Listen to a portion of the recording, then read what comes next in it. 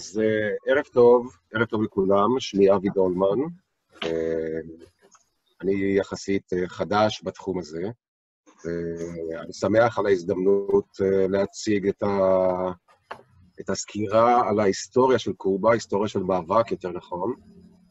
אני הגעתי לקובה בפעם הראשונה בשנות ה-90. הגעתי כבחור צעיר, ואני חיפשתי את כל מה ש... כולם מחפשים בקובה.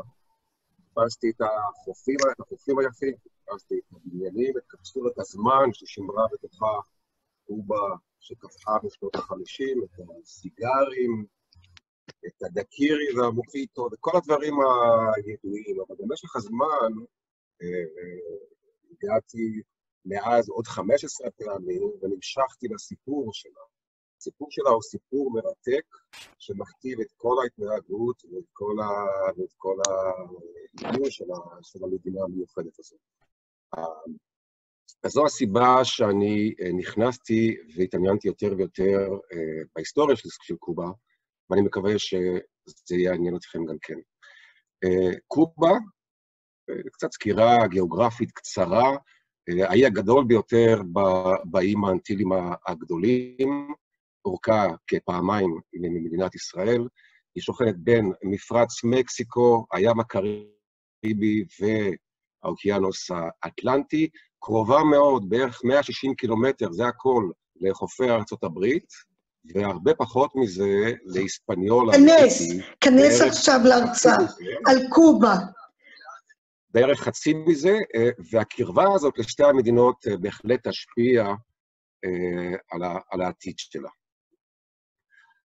קובה, אה, העקבות הראשונות שהאנתרופולוגים מצאו על קובה, על תושבים אה, שלה, 4,000 שנה, הטיינו, הם אה, חלק, הם חלק משבט הארוואק שישב בכל, בכל הקריבים, הם קיימו משק, משק עצמאי, התקיימו ממה שהסביבה נתנה להם, קיימו משק אוטרקי, ומה שמעניין ומה שחשוב גם כן לגבי העתיד, היא שהם הראשונים עד כמה שידוע, שגידלו ועישנו טבק. ספר קולומבוס מגיע ב-28 לאוקטובר, הוא נוחת ממש כאן, במפרץ בריאי, במזרח המדינה. הוא, הוא התלהב מאוד ממנה, חוזר לספרד ומקבל מנדט לשוב ולכבוש את, את קובה ואת שאר האיים, מפרננדו ואיזבל. הוא חוזר, ואחריו הקונקיסטדורים, שלא מרחמים על התושבים המקומיים כמו שהם לא רחמו על אף אחד בהמשך מתושביהם מהמירינדים, מהתושבים המקוריים של, של דרום אמריקה.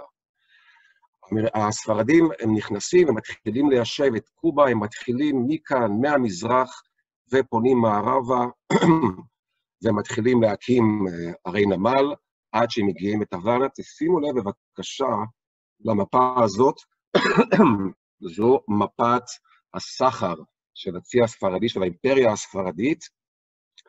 אה, כמובן, אה, בשלב יותר מאוחר אנחנו מדברים על המאה ה-16 והמאה ה-17. אה, לימה היא בירת המלכות, התת מלכות הספרדית, וכל האוניות מתכנסות, כל האזור הזה של הסחר הספרדי, מתכנסות פעמיים בשנה בנמל הוואנה, עם כל האוצרות של, שמביאים איתם העולם החדש בחזרה לאירופה, אה, זהב ועצים ותבלינים, וכאן, ממש לפני החזרה, התחנה האחרונה לפני החזרה לספרד, הם מעמיסים את האוצר של, אה, של קובה, והוא הטבק. הספרדים לומדים מהילידים המקומיים איך לגדל אותו, אבל זה לא עוזר לילידים, מפני שהספרדים מכחידים אותם לגמרי, המחלות והיחס האכזרי וגדולי הטבק מצריכים כוח עבודה חדש, ומה שהספרדים עושים, הם מייבאים אה, עבדים מאפריקה, סחר העבדים בכל האזור הזה פורח, וגם אה, לקובה מביאים הספרדים את, אה, את העבדים, וגידולי הטבק הם הענף העיקרי, הראשי, בעיקר במערב, במערב אה, המדינה באזור ויניאלס, מסנטה קלרה ויניאלס, קצת במזרח, אבל בעיקר באזור הזה שהטמפרטורה 23 מעלות, 65 מעלות, 65 אה, אחוזי לחות הם האידיאליים, וקובה מתפרסמת כאי הטבק.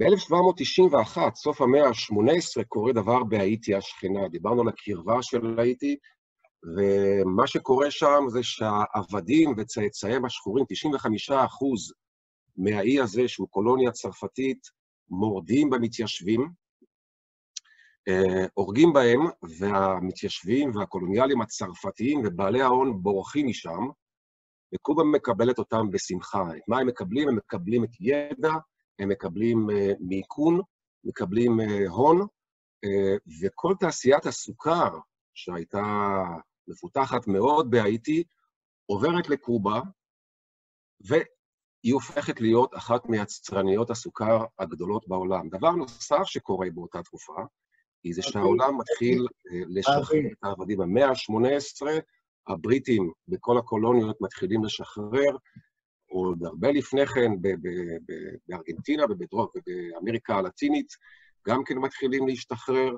לינקולן, במלחמת האזרחים באמצע המאה ה-19, זאת אומרת, ישנה תסיסה ושחרור של עבדים, אבל הספרדים לא מוכנים לשחרר את העבדים מפני שהם הכוח הראשי של, של הייצור של הסוכר בקובה. ספרד היא מעצמה בירידה, והעבדים הם חיוניים כדי לקיים את הענף הכלכלי החשוב הזה של ספרד.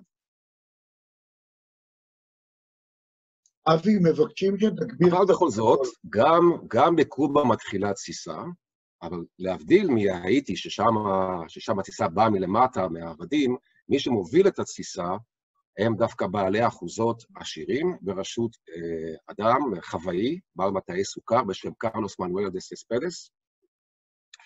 היו שם גם מניעים כלכליים, אה, בדומה למה שקרה במסיבת התה של בוסטון, זה לא היה רק מניעים אידיאולוגיים, הם הפסידו הרבה כסף, החבר'ה האלה, בגלל, אה, בגלל המיסים הכבדים שה, שהספרדים השחיתו עליהם.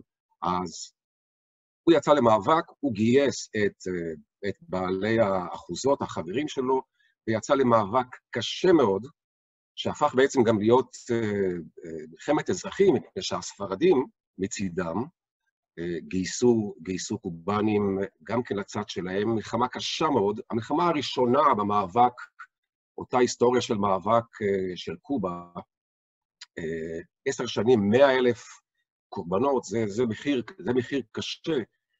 ולאחר עשר שנים, ב-1878, נחתם הסכם שלום, ולאחר מכן העבדות בקובה בוטלה סוף סוף, אחת לפני האחרונה, שנתיים לאחר מכן, ב-1888, תבוטל גם העבדות בברזיל. זאת אומרת, היא הייתה בין האחרונות, ספרד, שביטלה את העבדות דה פקטו. אבל כל המאבק הזה של העשר שנים, והקורבנות הקשים לא הביאו ממש את התוצאות שה, שהקובנים המקומיים קיוו לו. זאת אומרת, לאחר 17 שנה, הם הבינו שהמאבק הוא לא ממש נתן להם את מה שרוצה, את מה, ש, מה, שקיוו, מה שהם קיוו לו. התסיסה נמשכת, וחוזה מרטי, חוזה מרטי הוא הגיבור הלאומי של קובה, אתם תראו אותו בכל מקום בקובה, האנדרטה המרכזית נמצאת בכיכר המהפכה, שדה התעופה נקרא על שמו, רחובות, ערים, בכלל באמריקה הלטינית, בכל מקום ישנם אה, מונומנטים על שמו. הוא לא היה לוחם, והוא לא היה, והוא לא היה איש עסקים, הוא לא היה חוואי, הוא היה איש של מילים, משורר, משורר מפורסם, אולי אתם מכירים את, ה, את השיר הזה, אני אנסה להשמיע לכם, נראה אם תשמעו. מרכזי השלטון של המדינות, מראש וואטנמרה, זה שיר שנכתב בהשראת כתבים של חוזה מרטי, כלומר, הוא איש, הוא איש של מילים, והוא יוצא, הוא, הוא, חווה, הוא חווה את הכלא הספרדי בקובה, הוא יוצא לגלות, והוא מגבש, הוא יוצא לביאמי, שם נמצאים הרבה גולים ממוצא, ממוצא קובאני. הגולים הללו ימלאו תפקיד חשוב גם בהמשך ההיסטוריה, תמיד מגיעים אליהם כדי, כדי לאסוף תרומות ו, וכוח. הוא מגבש כוח של גולים שמגיע ב-1895, הוא לא לוחם, אבל הוא יוצא למלחמה, הוא איש קטן ורזה, אבל הוא מיד, הוא מיד נהרג. אבל המרד הזה צובר כוח, למרות שהוא, למרות שהוא נהרג, והוא, והוא עושה שמות בכוחות, ה, בכוחות הספרדיים. גם כן מלחמה קשה מאוד.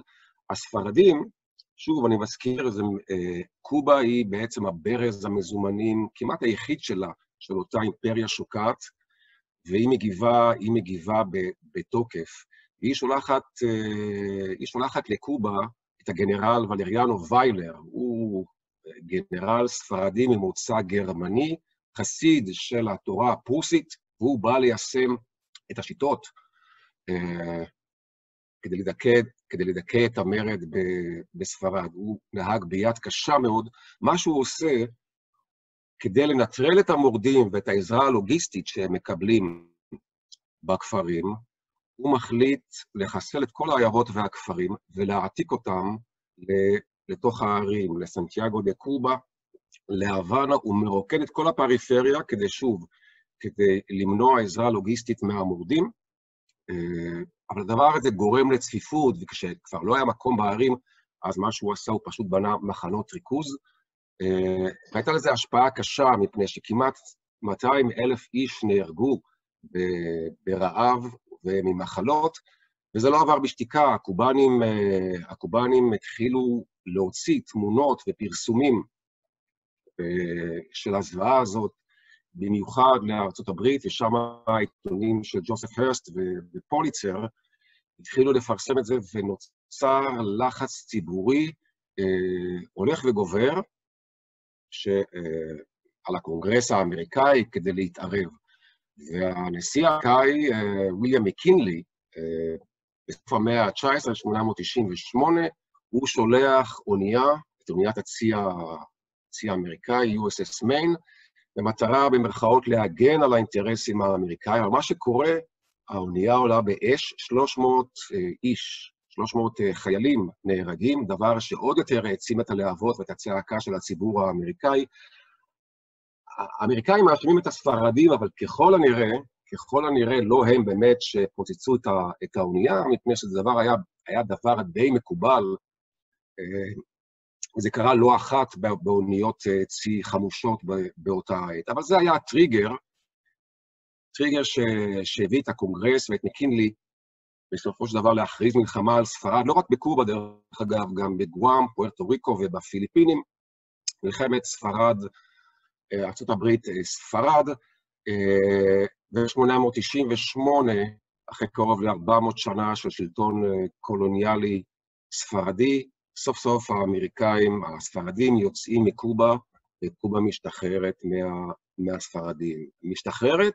לא ממש, מפני שהאמריקאים נכנסו, אבל לא כל כך נתנו את, ה, את החופש המיוחל אה, לקובנים כפי שהם כיוון לזה. אפשר לראות את זה בקריקטורות מאותה תקופה. כאן רואים את ה...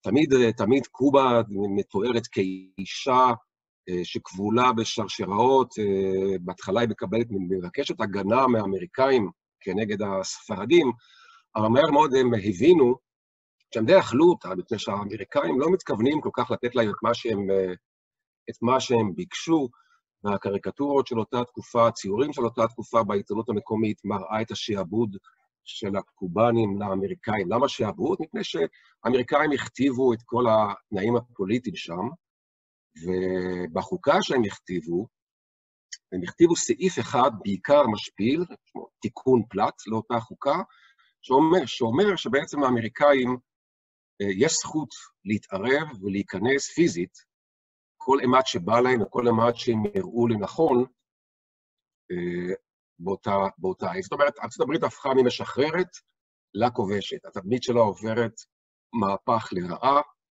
בדעת הקהל הקובאנית, האמריקאים בכל זאת הכתיבו אה, חוקה, אה, הכתיבו, אה, קיימו בחירות, אבל אף אחד מהקובנים, מאותם וטרנים מהמלחמות הקשות שעברו, לא ניגש לבחירות, ומי שמתמנה לנשיא הראשון של, של קובה הוא תומאס אסטרדה פלמה, שהוא בכלל חי רוב חייו בארצות הברית, והוא נחשב על ידי המקומיים בעצם כנציג של האמריקאים דבר נוסף שהאמריקאים מכתיבים לקובנים באותה עת, היא שיש להם את הזכות לקיים, להקים ולקיים ולשהות בבסיסים, שהם יקימו בסיסים צבאיים, מפני שקובה נחשבת למקום אסטרטגי עבור הצי, עבור הצי האמריקאי. אנחנו כמובן מכירים את גואנטנמו, שהוא הבסיס האחרון שנשאר עד היום. ההסכם היה שארה"ב תשלם 4,085 דולר כל שנה, וארה"ב מקפידה לשלוח, הנה אתם רואים פה צ'ק, מקפידה לשלוח כל שנה על אותו סכום, 4,085 דולר, הקובנים לא פודים אותו, אבל הם שולחים את הצ'ק. אז קובה מקבלת עצמאות, עצמאות במרכאות, ובעקבות הצבא האמריקאי, מי שנכנס גם הן חברות אמריקאיות, בעיקר, בעיקר חברות שנכנסות גם למקומות אחרים במרכז אמריקה, וקובה הופכת לספק הסוכר של ארצות הברית. ארצות הברית לא יכולה לקיים את עצמה, לספק לעצמה את כל תצרוכת הסוכר שהיא צריכה, אלא רק משהו כמו 6-7 אחוז, לא רק אגב למשק המזון, אלא גם לכימיקלים וכך הלאה. והחברות, והחברות האמריקאיות מבערות שטחים ונכנסות לכל תחומי החיים, לכל התחומים הגיאוגרפיים, מצפון ועד, ממזרח ועד מערב. תעשיית הסוכר עוברת מיכון, כל שאר הענפים בתעשייה ובחקלאות מזנחים, וקובה הופכת להיות בעצם נסמכת על ענף אחד בלבד, שהוא ענף הסוכר. ענף הסוכר דורש דורש ידיים רבות, וקובה פותחת, פותחת את שעריה למהגרים. אחוז אחד מהאוכלוסייה של קובה כיום הם צאצאים ל-100 אלף סינים שהגיעו, שהגיעו לקובה באותה עת, כדי לעבוד גם כן הסוכר. ישנו שער יפה בהוואנה של האזור הסיני, הוא לא ממש אזור סיני, אבל יש שער ש, שמסמל את ההגירה הסינית לשם.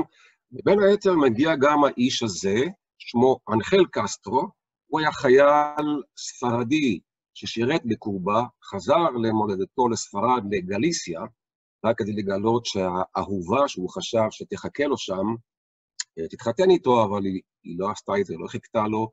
הוא חזר לקובה כדי אה, לנסות את אה, מזלו שם. אה, אנחל קסטרו, האבא של, אה, לימים מנהיג האומה הקובאנית.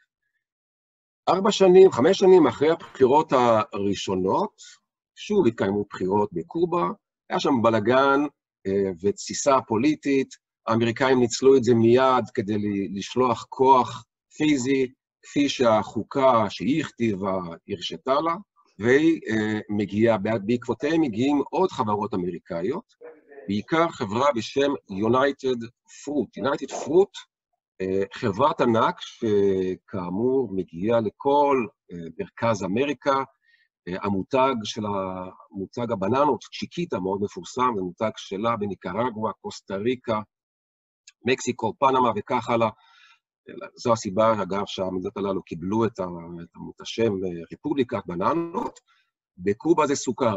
החברות הללו שולטות בכל אספקט של הכלכלה הקובאנית. הן מקימות קווי טלגרף וטלפון, וכבישים, ורכבות, ומפעלים, ועיירות של עובדים. זאת אומרת, ברמה המוניציפלית, הם אלה שמקיימות את קובה. ברמה הלאומית זה פחות מעניין אותם, מפני שאין שם הרבה כסף. מה הם עושים? הם נותנים את השלטון לאליטה הקובאנית, כלומר, אותם קובאנים ממוצא ספרדי לבן, עורכי דין, רופאים וכך הלאה, שהם ינהלו את העניינים שם.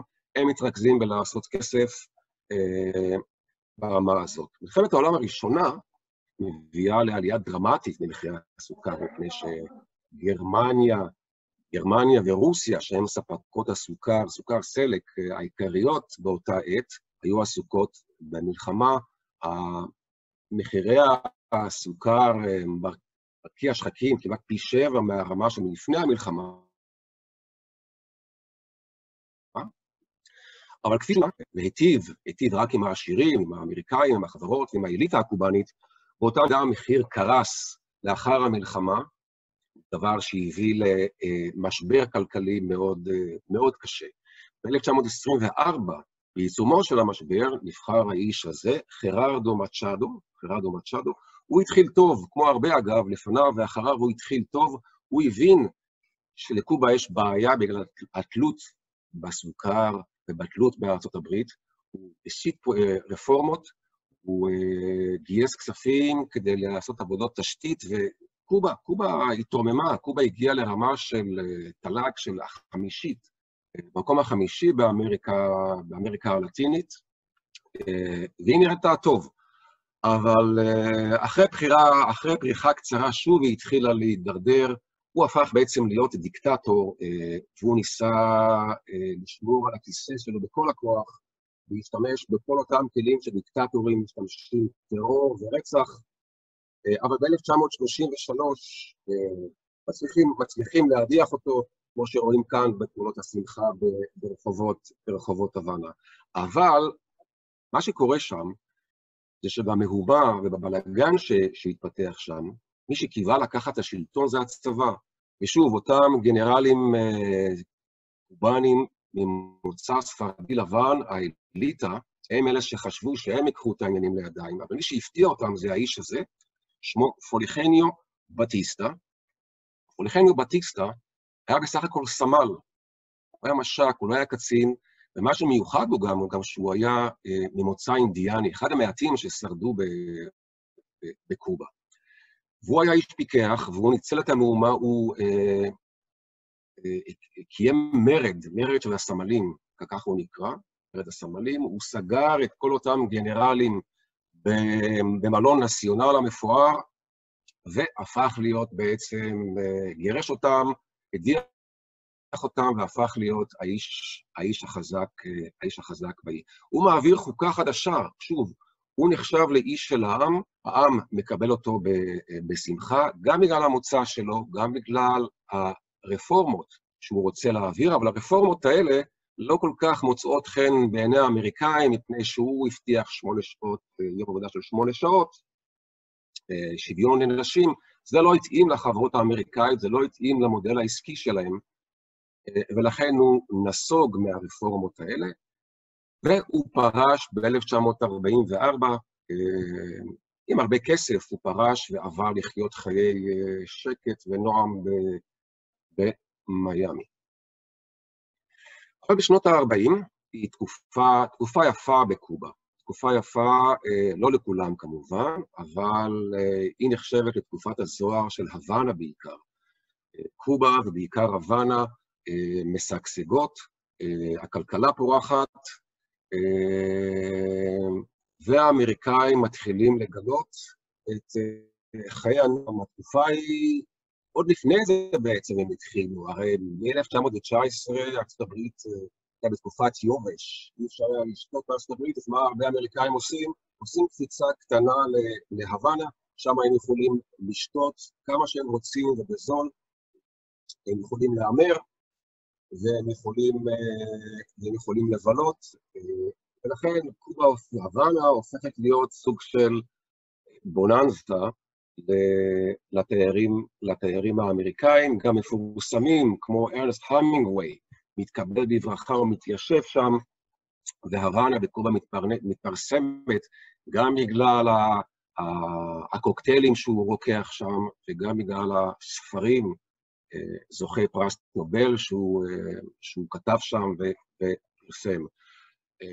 אבל לא רק התיירים והחברות האמריקאיות נהנים מהוואנה ומקובה, המאפיה האמריקאי מגלה אותה. זה בכלל מכרה זהב בשבילה. מי שתהיה ומשתלט אותה על העניינים הוא לקי לוצ'יאן מהקוזה נוסטרה ומאיר לנסקי מהכושר נוסטרה, שמבינים איזה מכרה זהב יש להם, מפני שהם יכולים בקלות מאוד להלבין את כל הכספים שהם עושים בארצות הברית, וזה לא היה, לא היה דבר נדיר לראות מאפיונרים מגיעים בסירות וביאכטות עם שקים מלאים במיליוני דולרים, נכנסים למשרדי העירייה, וכעבור חמש דקות יוצאים עם אישורים לבניית ביתי מלון וקזינו. זאת אומרת, התקופה הזאת היא, היא תקופה של שגשוג גם למאפיה, גם לאליטה הקובאנית, גם לחברות האמריקאיות, ומי שנשאר בצד הם אותם 97 אחוזי עניים שמתחילים להרגיש את הכעס עולה, הם רואים את הבוננזה, הם רואים את הבוננזה ואת הכסף ואת החיים הטובים שכולם עושים חוץ מהם, וזה, וזה גורם לתסיסה. ב-1952, אותו פולחנסיו בטיסטה, שנהנה מהחיים הטובים במיאמי, חוזר לקובה, הוא די השתעמם שם, והוא החליט, הוא החליט לחזור, ל, הוא החליט לחזור ל, לעניינים, הוא רצה קצת אקשן, והוא uh, הציב את עצמו בבחירות, אבל הוא הבין שהוא הולך להפסיד. הוא הבין שהוא הולך להפסיד, אז מה הוא עושה? הוא לוקח בכוח את השלטון, הוא ביטל את החוקה הליברלית שהוא כן העביר בסופו של דבר, והוא הופך לרודן, מי שבעצם שולט בו לא מעט הוא אותו מאיר לנסקי, כאן רואים אותם בארוחה משותפת. אמ, הוא אפילו ממלא את מאיר לנסקי לשר לענייני הימורים. טוב, שלנו אין כזה היום עדיין, אבל שם היה שר לענייני הימורים. אה, בטיטה שהתחיל טוב בזמנו, הופך להיות שוב, גם הוא רודן מהסוג הכי גרוע, טרור, רצח, אנשים אה, נזרקים, אנשים מתים נזרקים ברחובות הוואנה, ממכוניות נוסעות, וקובה אחרי 1953 עוברת באמת למדינת משטרה, דיכוי. הכלכלה מתחילה להידרדר, מפני שלמרות הכל, למרות שהם עשו כסף, אפילו הצבא האמריקאי והחברות הגדולות מתחילות לאט-לאט למשוך את ההשקעות שלהם בגלל אי השקט הפוליטי, הממשל האמריקאי עדיין עוצם עין, כי הוא לא... הוא מבין מה קורה שם ממש ליד סף ביתו, אבל כמו ששר החוץ האמריקאי אמר, he's a son of a bitch, but America's interests come first, he's at least our son of a bitch. הוא הבן זונה שלנו, אז בסדר, אנחנו לא... אנחנו לא נתערב יותר מדי, אבל אה, כל, ה, כל האירועים האלה ש, שתיארתי, שתיארתי עד עכשיו, והאווירה, הכלכלה הולכת ומידרדרת, והטרור, אה, מביאים, מביאים להתפוצצות. ההתפוצצות הזאת מגיעה ב-1959, במהפכה הקובאנית הגדולה, שאותה מוביל פידל קסטרו. כמה מילים על, על פידל קסטרו. פידל אלחנדרו קסטרו רוז נולד כאן במיירי, במזרח, במזרח המדינה, הוא הבן, אחד הילדים, אחד מחמישה ילדים של אותו אנחל רוז, סליחה, אנחל קסטרו, אותו מהגר שהגיע, חזר לקובה ובינתיים עלה לגדולה, הוא uh, הפך להיות חוואי uh, עשיר מאוד, אבל uh, פידל קסטרו וגם אחיו, ראול, הם היו בנים לא חוקיים של אותו אנחל קסטרו, הם נולדו, הם נולדו לו מיחסיו עם, ה, עם מנהלת משק הבית, או הטבחית יותר נכון, של האחוזה, האחוזה נמצאת uh, כאן, אפשר לבקר בה, שמה לינה רוז. ופידל קסטרו מספר לימים שעצם העובדה שהוא גדל לא באחוזה, האבא לא הרשה להם לגור באחוזה, אלא הוא אה, העביר אותם לחיות יחד עם הפועלים, הפועלים השחורים העניים במגורים שלהם, והוא אומר שזה אחד הדברים שהשפיעו עליו אה, ועל תפיסת עולמו כשהוא ראה את התנאים שהם חיו בו, למרות שהוא גדל למשפחה עשירה. אה, ו... אה, ומיוחסת. הוא, הוא כבר מגיל צעיר התבלט כאדם אה, אדם מיוחד, כמנהיג, איש חם מזג, אחד שיודע לדבר, והוא הראה את זה גם בבית ספר הישועי, הוא קיבל חינוך דתי קפדן בסנטיאגו דה קובה, והוא עבר ללימודי משפטים ב, באוניברסיטת הוואנה 1950, בערך באותה תקופה שבטיסטה מתחיל את שלטון, הפנים שלו. כאמור, 1953, בטיסטה הוא זה, ש... הוא זה ששולט בו, בתמיכת המאפיה. כאמור, כל דבר שקורה במדינה, מעשר עובר לכיסו של בטיסטה,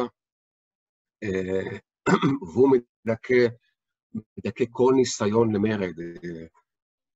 פידל קסטרו באותה עת מתחיל להיות פעיל פוליטי בתאים שמתפתחים באוניברסיטה, והמעשה הראשון שהוא עושה, המעשה המשמעותי הראשון שהוא עושה, הוא לנסות להפיל את המשטר של בטיסטה על ידי פשיטה די, די שלומיאלית, אפשר לומר, כאן במזרח המדינה, בסנטיאגו דה קובה, במחנה צבאי, במונקדה. הוא מגבש קבוצה של כ-20 חבר'ה, שחושבים שהם ינצלו את העובדה שבאותו ערב שהם תכננו לתקוף את הבסיס הזה, היה קרנבל, הם חשבו שהחיילים יהיו שיכורים, אבל זה לא עזר להם, התקפה נכשלה לחלוטין, רוב המורדים נהרגו, ופידל קסטרו ואחיו ראול היו בין הבודדים, בין הבודדים ששרדו. אומרים שלפידל קסטרו היו תשע נשמות, פה כנראה הוא החזיר את הראשונה מתוך, מתוך כמה אחרים. חלק אחרים אומרים שהוא ואחיו הם בין הבודדים שלא נרצחו ונהרגו על ידי הצבא באותה התקפה, הייתה העובדה שהוא היה נשוי, הוא היה נשוי לביתו של שר הפנים, האיש מספר 2 בקובה. כך או כך הוא שרד, הוא שרד, אבל הוא נזרק לכלא. הוא ואחיו ראול נכנסים לכלא, וכעבור שנתיים פוליכניו בטיסטה, ביום האם, הוא יום חשוב בקובה, מחליט להעניק חנינה למורדים, והוא עושה מאיזה מטעמים, הוא, הוא חוגג את השחרור שלו כניצחון אדיר, והאחים מקימים תנועה בשם ונטייסייס לחוליו, 26 ליולי. והוא מצהיר, אני לא, אני לא ויתרתי על שום דבר, אני אמשיך, אני אמשיך להתכונן לקראת המהפכה. הוא עובר למקסיקו, מקסיקו רק לפני כמה שנים עברה מהפכה משלה, ושם הוא פוגש את מי שהפוך אמור להיות, אמור יהיה להיות, השותף האידיאולוגי החשוב ביותר שלו בקיום המהפכה, רופא ארגנטינאי צעיר בשם ארנסטו צ'ה גווארה, ארנסטו צ'ה גווארה, הוא בערך בן גילו של, של פידל קסטרו. הוא נולד ברוסריו, בן למשפחה בורגנית מהמעבד הבינוני העליון, שהוא קיבל את תפיסת העולמו על ידי אמו הסוציאליסטית, ובנוסף לכך, הוא גיבש, את ה... הוא גיבש את תפיסת העולם הסוציאליסטית, שמאלנית, מרקסיסטית, איך שתקראו לזה, לאחר מסע אופנועים ארוך שהוא עשה מסע ברחבי אמריקה הלטינית, יחד עם חבר שלו. המדריכים לאמריקה, דרום אמריקה בוודאי מכירים את ה... ישנה הרפליקה של אופנוע נורטון, שעליו הוא רכב במעבר האנדים, ואפשר לראות את זה שם, אבל הוא, הוא גיבש את תפיסת העולם שלו כשהוא ראה את העוני ואת הדלות ותנאי המחיה של, של פשוטי העם ברחבי אמריקה הדרומית. הוא חיפש, הוא חיפש דרכים לשנות, לשנות את זה. כאמור, האחים קסטרו וגווארה מתכוננים לקראת המהפכה בקובה. המקסיקנים לא אוהבים את זה, וגם שם הם משליכים אותם לכלא לכמה חודשים. הם משתחררים וממשיכים להתאמן לקראת המהפכה שתבוא ביוקטן. כמו חוסה מרטי, אותו גיבור שנסע למיאמי כדי, כדי לגייס כספים ותמיכה מהגולים הקובאנים, גם פידל קסטרו עושה את זה, וב-56' הוא משתמש בכסף שהוא השיג כדי לקנות אונייה, אונייה בשם גרנמה, זו אונייה, אונייה שהוסבה לאוניית נוסעים, והם החליטו, הם החלו לתכנן את החזרה עם האונייה הזאת, וב-1956 הם מעמיסים עליה 86 לוחמים, ציוד מזון, כמובן נשק, הרבה, הרבה מעבר לקיבולת שלה, ויוצאים מכאן, מוורה קרוז, מוורה קרוז למסע אה, שייקח כשמונה ימים, הרבה יותר ארוך ממה שהם חשבו, שהם חשבו לפלאיה דה קולורדס במזרח, במזרח המדינה. פה הם היו אמורים לפגוש ולחבור לכוח שהיה אמור לחכות להם, אבל, אבל מכיוון, ומכיוון ש, שהמסע ארך יותר ממה שנחשב, גם, הם גם עגנו במקום אחר ממה שתוכנן מלכתחילה, והכוחות של בטיסטה כבר חיכו להם, אז זה היה, זה היה כישלון, כישלון קולוסלי. הכוחות של בטיסטה חיכו להם, הצבא הקובאני חיכה להם, ובקרב שהתפתח, רוב האנשים, רוב הלוחמים, למעלה מ-60 מתוך אותם 80 וכמה שהגיעו לשם, נהרגו, ושוב, פידל קסטרו ואחיו מצליחים להינצל ברגע האחרון ויוצאים למסע רגלי של בערך 80 קילומטר, כאן, מפלאיה דה קולורדס, מכאן עד לפסגת הסיירה מאסטרו, אותו, סיירה מאסטרה, אותו רכס הרים גדול ממזרח המדינה. הם מתיישבים בפיקו טורקינו, שזו הפסגה שלה, ומתחילים לארגן את עצמם לקראת, לקראת העתיד. קסטרו מתבסס סך הכל עם 18 איש, זה הכל, זה, ש... זה כל הכוח שהיה שם. אבל הוא מצליח בשנתיים הללו שהוא מתיישב שם, ליצור הילה, ש... שמה שעוזר לו ליצור את ההילה הזאת הם פרסומים, פרסומים בעולם, בעיקר אותו סדרת כתבות, אותם סדרת כתבות בניו יורק טיימס, עיתון הכי מפורסם, זאת אומרת, לקבל, לקבל כתבה ראשית ועוד בסדרות, בכמה, בכמה פרקים בניו יורק טיימס, מביא לך חשיפה, חשיפה עולמית, והוא נחשב, והוא נראה כמו מין רובין הוד, כל העולם עוקב בנשימה, בנשימה עצורה אחרי, אחרי אותם מורדים שמתחבאים אה, בערים ומתכוננים אה, לקראת המהפכה נגד הרודן. אה, צ'ה גווארה, הוא מקבל על עצמו את ה... להיות הסמן האידיאולוגי של המהפכה שתבוא, והוא מקים רדיו, רדיו רבלדה, שמש, שמשדר לכל המדינה, לכל האזור ולכל המדינה, ואותם 18 אה, איש מתחילים לגייס לאט-לאט, לאט-לאט במשך השנתיים הללו, לא הרבה, בסך הכל הם הגיעו ל-300 בסופו של דבר, אבל הם מקבלים עזרה לוגיסטית מהאיכרים בסביבה, ולאט-לאט מתחילים לגייס תמיכה אה, ונשק. ב-1958, בקיץ, פידל קסטרו, אחרי שנתיים של התבססות ושנתיים שהוא הטריד בלוחמת גרילה את הכוחות הקובאנים של, של, של, של, של בטיסטה שישבו במורדות הרכס, הוא הרגיש בטוח לצאת להתקפה. וההרגשה הזאת של הביטחון, יחד עם הקמפיין התקשורתי והלחץ הציבורי האמריקאי, הביא את האמריקאים להפסיק לתמוך בבטיסטה, המהפכה יוצאת לדרך. הקרב, הקרבות יוצאים לדרך, הכוחות מתפצלים לעיניים, כוח אחד בראשו, בראשותו של פידל קסטרו ואחי ראול מחליטים לרדת מהרכס ולצאת לכיוון סנטיאגו לקובה, העיר החשובה, העיר החשובה במזרח, וכוח שני בראשותו של קמילוס ינפואגוס וצ'ה גווארה, מקבל על עצמו לעשות את הדרך בכיוון ההפוך, הדרך הארוכה יותר לכיוון, לכיוון הוואנה, לכיוון הוואנה הבירה. הכוח של קסטרו יורד, מיד סופק מכה אנושה. רוב הכוח, בערך 140 איש, חוטף התקפת אש קשה מאוד מהצבא הקובאני, שוב, בפעם השלישית, או בפעם המי יודע כמה מתוך כמה שיבואו, פידל קסטרו מצליח להינצל, הוא חוזר הוא עולה בחזרה למעלה, אבל מה הוא עושה? תופס את המיקרופון של הרדיו ומודיע לכולם שהוא הצליח, הוא מנצח. וזה לא משנה אם זה נכון או לא נכון, זה מה שהוא אומר, וזו, וזו האמת שמתבססת בקרב, בקרב העם. הכוח של, של סיינפואגוס וצ'ה גווארה מצליחים הרבה יותר, אה, כשמאסטר חשוב היה כשהם אה, כובשים או תופסים רכבת נשק אה, בסנטה קלרה, שזה בעצם היה הקש ששבר את קו הגמל, ומשם הדרך הייתה פתוחה לכיוון הוואנה. הצבא הקובאני של בטיסטה מתפורר לחלוטין, הוא גם ככה היה, גם ככה לא היה, לא הייתה לו שום מוטיבציה, החבר'ה הרוויחו פרוטות.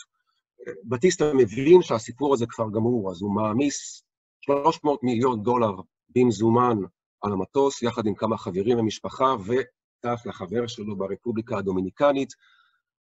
הדרך סלולה, אה, בינתיים אה, פידל קסטרו כובש את, אה, כובש, נכנס לסנטיאגו, ברגע שהוא שומע שהדרך פתוחה יוצא למסע ניצחון לאורך כל קובה, מסנטיאגו עד הוואנה, עובר בכל הערים ובכל העיירות, ומתקבל כגיבור על ידי העם בשמיני לראשון, 1959, המהפכה, המהפכה הושלמה. דיאל קסטרו נכנס להוואנה ונושא נאום. בעיני 400 אלף איש, אה, הוא נחשב כמושיע, ומה שעוזר לזה זה אותם יונות, אותה יונה שישבה לו, שהתעופפה באמצע הנאום וישבה לו על הכתף. הרבה לא יודעים שמאחוריו, זה לא זה, אבל מאחוריו ישב, אה, ישב מאמן יונים שארגן את זה שהיונה תנחת לו על, ה, תנחת לו על הכתף, אבל כך או כך הוא התקבל כ, כמשיח על ידי המקומיים, אה, והוא הבטיח כל טוב לעם. אה, אנשי המעמד הגבוה, גנרלים, אה, אנשי עסקים, אנשי כספים, התחילו לצאת, ובשנה הראשונה קסטרו ואנשיו התחילו לבוא בחשבון עם אנשיו של בטיסטה, במשפטי ראווה, לפעמים די מגוחכים, באצטדיונים וכך הלאה, אבל הם באו אותם בחשבון. הוא מיד התחיל לעשות, הוא מיד התחיל ברפורמות, רפורמות מקיפות. קודם כל הוא הפקיע רכוש רב של חברות האמריקאיות, בערך שתי מיליון דונם שפעם חברות אמריקאיות גידלו בהם את, ה... גידלו בהם את הסוכר, הוא הפקיע אותם והעביר אותם, רואים פה את אותם טקסים שהם מעניקים את החלקות לאיתנים המאושרים. והוא משיק בעיקר רפורמה נרחבת במערכות החינוך והבריאות. עד היום שתי המערכות הללו, החינוך והבריאות בקובה נחשבות טובות, טובות מאוד, בטח, ב, בטח ב, ברמה של אמריקה הלטינית, אבל גם ברמה גלובלית מערבית. הן מערכות מאוד מפותחות, לימים הוא ישתמש בהן כדי לקדם את עצמו ואת המהפכה הקובאנית בהמשך. ב-1959 קסטרו מבקר בארצות הברית, האמריקאים אמריקאים דואגים, הם רואים את כל מה שהוא עושה, הם רואים את ההפקעות של האדמות, הם רואים את הרפורמות הסוציאליסטיות, והם לא כך, הם לא כך אהבו את זה, כמו שהם לא אהבו את אותן רפורמות שניסו הקודמים שלו לעשות. Uh, הוא מגיע, הוא מתקבל ככוכב תקשורת, uh, פידל קסטרו מאוד מאוד אוהב את תשומת הלב שהוא מקבל uh, בכל מקום שהוא מגיע, הוא מתנהג כמו, כמו כוכב. Uh, ושם פוגש אותו ניקסון,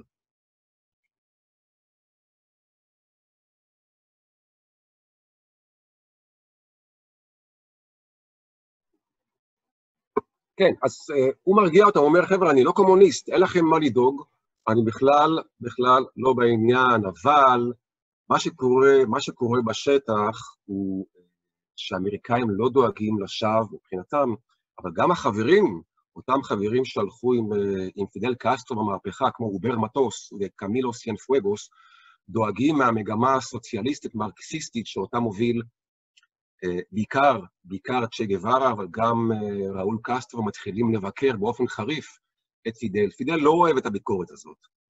הוא מחליט, הוא מחליט אה, לכלוא את אובר מטוס, אחד מדיבורי המהפכה, ולא רק זה, הוא גם שולח את סיין פואגוס כדי לכלוא, כמין מבחן אה, נאמנות כזאת. ברגע שסיין פואגוס מכניס את מטוס לכלא, הוא עולה על טיסה חזרה להוואנה, והטיסה הזאת לעולם לא הגיעה ליעדה. המטוס וסיין פרגוס לעולם לא נמצאו. בפעם הראשונה, אחת מהראשונות, שקסטרו, קסטרו בא בחשבון עם המבקרים שלו ומתחיל להעלים אותם. ארה"ב לא רק דואגת, אלא גם היא עושה מעשים, היא מצמצמת דרמטית את הסחר עם, הסחר עם קובה, היא לא מסכימה למכור, למכור לנשק, וקסטרו שוב, אנחנו בימים של קיטוב אה, שמתפתח וגודל במלחמה הקרה, הוא פונה לברית המועצות ולגוש המזרחי, ואירוע מאוד משמעותי קורה כשאוניית נשק אה, צרפתית. אה, הוגנת בקובה, בנמל הוואנה ומתפוצצת, קסטרו האשים בחריפות את ארצות הברית בכוונה מכוונת, וזה היה עוד צעד ועוד תמרור אדום לאמריקאים שהקובנים וקסטרו מוביל אותם אה, לצד הלא נכון של המפה, וזה, וזה הספיק להם. הם אמרו, חבר'ה, זה מספיק, אנחנו הולכים לסלק את האיש הזה, הוא לא מתאים לנו. אבל הם לא רצו לפלוש, לא רצו להיכנס למלחמה, זה לא התאים להם באותה עת. אז ה-CIA, מה אה, מה שהם החליטו, הם הגו תוכנית, ניקסון, אייזונר תמכו בזה, הם אמרו, תשמעו, אנחנו לא ניכנס, אבל מי שכן ייכנס לקובה, הם אה, גולים. גולים קובנים, והם באמת גיבשו בריגדה, בריגדה 2506 שמה, אימנו אותם לקראת, אימנו אותם, חימשו אותם לקראת הפלישה שהייתה אמורה להיות, אגב, הרבה יותר רחבת היקף ממה שהייתה בסוף, מפני שבאותה עת שקנדי עלה לשלטון, הוא צמצם את ההיקף שלה באופן דרמטי, אבל היא בכל זאת יצאה לדרך, והפלישה אה, אה, יצאה לדרך במפרץ החזירים, ב-Bay of Pigs, ב-1961. אה, קרוב ל-1,500 גולים נחתו על גבי שלוש ספינות, הם קיבלו גיבוי אה, אווירי, אבל קסטרו כבר חיכה להם, הוא ידע מה הולך להיות. אה, כבר במסע שלהם מגואטמלה, משם הם אה, התאמנו למפרץ החזירים, ובקלות יחסית אה, הוא חיסל את הפלישה הזאת, הרג רבים מהם ושבה את, את השאר, והוא עשה מזה מטעמים, הוא עשה מזה מטעמים, מטעמים גדולים, והפך להיות גיבור, לא רק בקרב הקובנים, אלא בקרב בכלל תושבי אמריקה הלטינית. הנה הגיבור, הדוד שעומד בפני הגוליית הקולוניאליסט האמריקאי, אה, הוא בהחלט, אה, הוא בהחלט אה, עשה מזה מטעמים.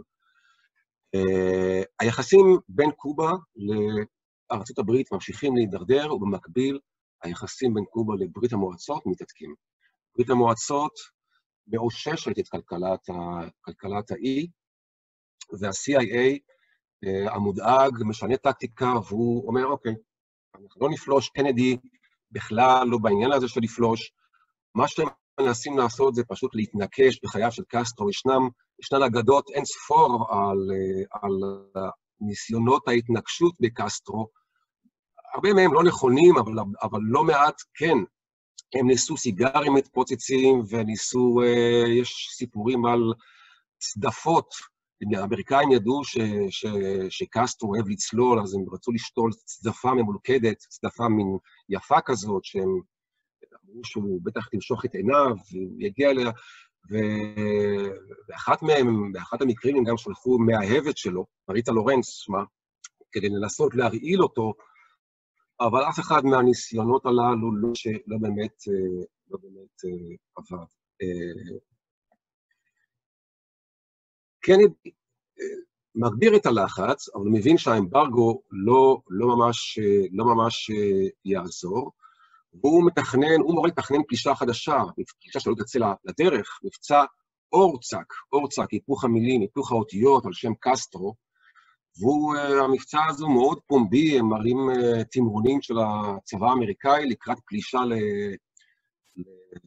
לקובה, קסטרו די נבהל, הוא מבין שמה שקרה במפרץ החזירים לא יכול לחזור על עצמו, הוא לא יוכל לעמוד מול צבא אמריקאי מאורגן בלי נוכחות צבאית פסיבית, וזה התאים שוב לאותם, לאותם, לאותה סיטואציה גיאופוליטית אה, באותה עת, המלחמה הקרה.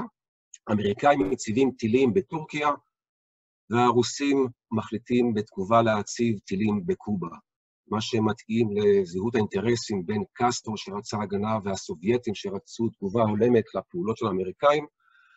וב-1962 האמריקאים, אה, סליחה, הסובייטים משלימים פריסה מבצעית של טילים אה, כאן בסנטה קלרה, אה, סליחה, בסן קריסטובל במערב המדינה. האמריקאים מגלים את זה, האמריקאים מגלים את זה, ונפתחת תקופה קשה מאוד, כנראה שהתקופה הכי מתוחה והכי קרובה לפתיחת מלחמה גרעינית בין האמריקאים והסובייטים, אה, בעיטם של אותה פריסת אה, טילים בקובה. קסטרו דחף את הרוסים, קסטרו וצ'ה גווארה דחפו את הסובייטים לקו נוקשה, אבל בסופו של דבר ההיגיון ניצח, וגם הרוסים וגם האמריקאים סילקו את הטילים שלהם, אלה מטורקיה ואלה מברית המועצות. קסטרו, קסטרו, קסטרו לא אוהב את, את העובדה שהסובייטים אה, מתקפלים, והם מפצים אותו, הם יודעים שהוא אוהב כבוד, הם נותנים לו כבוד, אבל לא רק כבוד, הרבה כסף. רוסיה, אה, ברית המועצות הופכת להיות השוגר דאדי של קנדה, והיא מקיימת היא מקיימת כלכלית את קובה החל מסוף שנות ה-60, ובהמשך האמריקאים מצדם כן ניסו דרכים לקיים איזשהו דו-שיח, אבל אחרי שקנדי, אחרי התנגשות בקנדי ועלייתו של לינדון ג'ונסון, גם הסיכוי הקטן הזה כבר ירד. גווארה, השותף האידיאולוגי של, של, של קסטרו, הופך להיות לאט לאט מבקר חריף שלו, הוא חושב שקסטרו הוא אופורטוניסט, מה שכנראה די נכון, אבל צ'ה גווארה הוא אידיאולוג ופוריסט, ובעקבות ה, בעקבות ה, הביקורת שלו, קסטרו מתפטר ממנו, הוא שולח אותו, במרכאות, לייצא את המהפכה, הוא יוצא לאפריקה, לקניה, ולדרום אמריקה, לבוליביה, ובבוליביה בשנת 1967, אותו מהפכן דגול מוצא את מטו על ידי הצבא הבוליביאני, ויורד מעל דפי ההיסטוריה. ההתקרבות בין קובה לארצות הברית ממשיכה, וקובה הופכת להיות מדינה סובייטית לכל דבר בעצם, משתלטת בכל אספקט, בכל אספקט של החיים, הופכת להיות מדינה דיקטטורית, ומדינה סמכותנית, ותלויה לחלוטין, תלויה לחלוטין בברית המועצות. קובה היא מדינה קטנה, מה היא יכולה כבר לתת בתמורה לברית המועצות?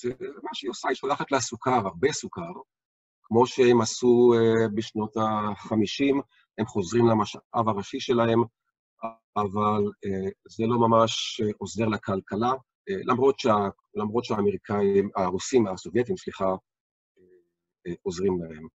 דבר נוסף שהקובנים יכולים וקסטרו יכולים לעשות עבור המהפכה הסוציאליסטית העולמית, בתמיכה בברית המועצות, היא לשלוח צבא למקומות, למקומות, למקומות אחרים בעולם. בין היתר, אגב, הם גם שלחו פלוגות כאן, לאזור שלנו, פלוגות שנלחמו ב... לצד הצבא הרוסי, הסורי, לצד הצבא הסורי במלחמת יום כיפור, אבל הכוח המסיבי נשלח לאנגולה. אנגולה זכתה בעצמאות ב-1975, ומתפתחת שם מלחמת אזרחים בין שני הצדדים, מרקסיסטים ולאומנים, הלאומנים בתמיכת דרום אפריקה וארצות הברית, והמרקסיסטים בתמיכת 35 אלף כוח אדיר ששולח קסטרו לעזור להם. זאת אומרת, הדבר היחידי שקסטרו יכול לעזור בתמורה לקיום הבסיסי של קובה, הוא לעזור ביצר מהפכה, גם, אגב, לא רק במורים ורופאים שהוא שולח לכל רחבי אמריקה. שנות ה-80, שנות ה-80 הן שנים קשות לקובה. ישנו מחסור באספקה והגבלות תנועה, והקובנים, עד כמה שהם העריצו את קסטרו, הם רצו, הם רצו לחם, הם רצו לאכול, והתסיסה גורמת לקסטרו לפתוח את השסתום של הלחץ, והוא שולח למעלה מ-100 אלף קובנים אה, למיאמי. הם פשוט עולים על אה, ספינות, כל ספינה שיכולה אה, אה, להשית אנשים, אה, שוב, בתמיכה במימון של הגולים הקובנים, וקסטרו בנוסף לזה גם עושה נע באוזן לאמריקאים ושולח להם, הוא פותח את בתי הכלא ואת בתי החולים לחולי נפש, והוא שולח להם את כל הנתקעים של החברה הקובאנית למיאמי. המצב הכלכלי הקשה אה, גורם לקובאנים גם לגייס כספים ממקומות לא כך סימפטיים, כמו למשל, אה, כמו למשל אותו הסכם עם אה, הקרטל, קרטל הסמים בצפון קולומביה, הקובנים הרשו להם בסתר להעביר את הסחורה שלהם במים הטריטוריאליים שלהם, בתמורה לתמיכה במורדים מרקסיסטים באותו אזור, ומעשר של עשרה אחוז מכל הסחר הסמים שמגיע לארצות הברית. האמריקאים עולים על העניין הזה, וקסטרו אה, מוצא קורבן, הוא מעליל על עוד חבר ילדות, עוד חבר להפיכה שלו בשם אוצ'ואה, אלפונסו אוצ'ואה, גנרל שגם היה מפקד הכוחות באנגולה, הוא מפיל עליו את התיק ומוציא אותו להורג. באותה עת יוצא גם הסרט, בצלקת.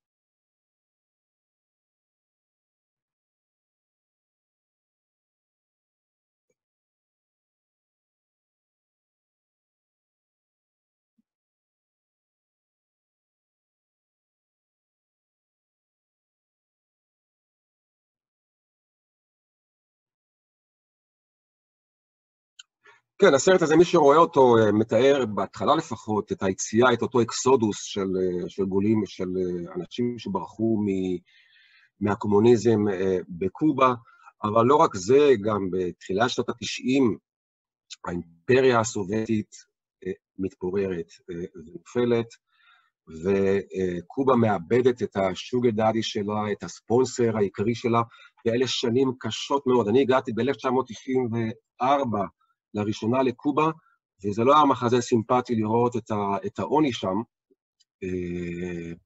אבל פידל בשלו, למרות שברית המועצות והגרורות המזרח-אירופאיות עושות רפורמות מקיפות ופותחות את השערים ברפורמות פוליטיות, הוא לא עושה את זה, הוא אומר, אני מעדיף שהיא יתבע יחד איתי לפני שאני אעשה את הרפורמות האלה, אבל המצב הכלכלי הוא באמת קשה, ולראשונה, באמצע שנות ה-90,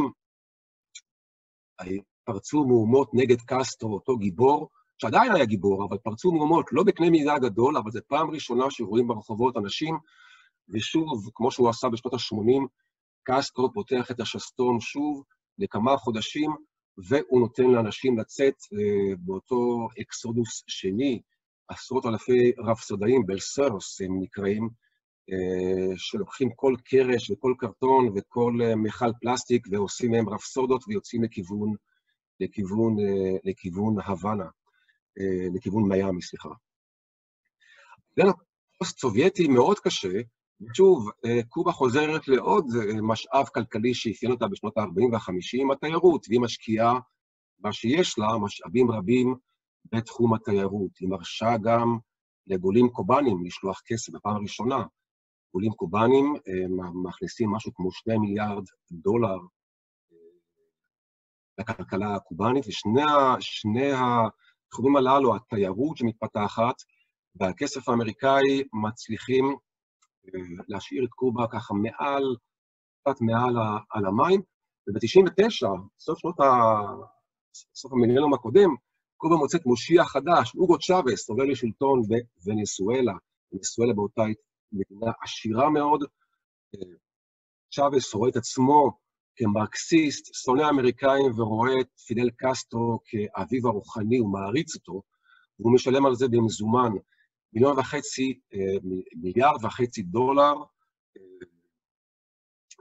דולרים עוברים מדי שנה, נפט בשווי מיליארד וחצי דולר עוברים מדי שנה לקובה. קובה משאירה חלק מזה לעצמה, לשימוש, לשימוש שלה, וחלק מזה היא מוכרת בשוק החופשי, וזה עוד דבר שמצליח לייצב אותה. מה שהיא עושה בתמורה, היא שולחת ברגלים. היא פיתחה, היא פיתחה ארגונים חשאיים מאוד מפותחים, מערכת ריגול, והיא, אותם מרגלים שנמצאים שם אומרים עד היום, כדי לשמור על שלטונו של מדורו, השליט הנוכחי בוונסואלה, הם אלה שעוזרים לצ'אבס לשמור על השלטון שלו. במהלך שנות ה-90 ותחילת האלף, ה... האלף הנוכחי, הצבא הוא בעצם ששולט בכל אספקט כמעט של, של, של קובה. בדומה למצרים, דרך אגב, הצבא, הצבא הופך להיות מין קורפורט כלכלי. כל יוזמה, כל יוזמה פרטית וכלכלית צריכה לעבור דרך, ה, דרך הצבא. מתחילים לפתוח קצת כל מיני יוזמות, הם מתחילים לאפשר לאנשים לפתוח מסעדות או חדרי אירוח למיניהם, אבל אופוזיציה פוליטית עדיין לא מתקבלת. האיש הזה שמו אוסוולדה, אוסוולדו פאיה. אוסוולדו פאיה היה כומר שהטיף לרפורמות, ג'ימי קרטר נפגש איתו, וברגע שהשלטונות הקובאנים הרגישו שהוא קצת ככה עובר את הגבול, במקרה לא במקרה הוא נהרג בתאונת דרכים מסתורית. אנחנו מגיעים לשנים האחרונות, שנים של שקובה, איך שהיא מדשדשת, קסטרו מזדקן, אבל בכל זאת, מי שעולה לשלטון בארצות הברית הוא ברק אובמה. ברק אובמה מפגין מדיניות של פיוס ברחבי העולם הערבי והאמריקו הלטיני גם כן, והאפיפיור הארגנטיני פרנסיסקוס עובד מאחורי הקלעים כדי ליצור איזשהו מהלך של פיוס, באמת פגישה של אובמה עם, עם ראול קסטרו, ואחר כך הפתיחה ההיסטורית המחודשת של השגרירות האמריקאית על ידי ג'ון קרי בהוואנה, הובילו לשיחות ולרפורמות ולפתיחות מסוימת ביחסים בין קובה לארה"ב. דונלד טראמפ, שעלה לשלטון, מיד סגר את אותה דלת, אותם קרוזים שהתחילו לצאת מארה"ב למיאמי, לקובה, הופסקו, אבל הרכבת הזאת כבר, כבר יצאה, למרות שהיא מתעכבת עכשיו לא מעט, אבל היחסים הם, הם שקטים, הם קורקטים, למרות, למרות העבר הקשה, היחסים הקשים בין שתי המדינות. השנים האחרונות השלטון עובר בידי פידל קסטרו, פידל קסטרו הזדקן, חלה, עבר לאחיו ראול ב-2008, עשר שנים שלט ראול, הוא לא, הוא לא עשה מהפכות, הוא לא עשה, אני לא מאמין שתהיינה מהפכות גדולות בקובה בשנים הקרובות. הפתיחות היא קלה מאוד, איטית מאוד, הם פתחו קצת אינטרנט, הם פתחו קצת כל מיני תחומים אחרים, אבל קובה נשארה סגורה ומסוגרת מבחינת, מבחינה פוליטית. כמו שהוא הבטיח, ראול קסטרו פינה את הכיסא שלו, ואחרי 60 שנה, זו הפעם הראשונה שאף אחד ממשפחת קסטרו לא בשלטון. מי שעולה לשלטון, והוא כרגע הנשיא, הוא מיגל דיאס קנל, חבר הפוליט בירו של, של קובה, ומה השנים הקרובות יביאו לקובה, זה נותר רק לראות. זאת אומרת ש-500 שנה, אותם 500 שנה של מאבקים, החל, החל בשלטון, ה, בשלטון הספרדי, האמריקאים, ולאחר מכן המהפכות, כל אותם מאות אלפי הרוגים, הם תקופה ארוכה של מאבקים. קובה עדיין היא מדינה מיוחדת, המאבק שלה לא תם, המאבק של העם הקובאני, שבאמת נלחם כדי לשרוד ולהגיע לאיזושהי נחלה, עדיין, עדיין לא, לא הסתיים. וצריך רק לראות, צריך רק לראות מה ילוד הימים, מפני שהמדינה הזאת היא באמת מדינה מקסימה, עם אנשים מקסימים, היסטוריה נהדרת, מקומות נפלאים, הם קצת חיים יותר קלים לחבר'ה האלה. תודה רבה, חבר'ה.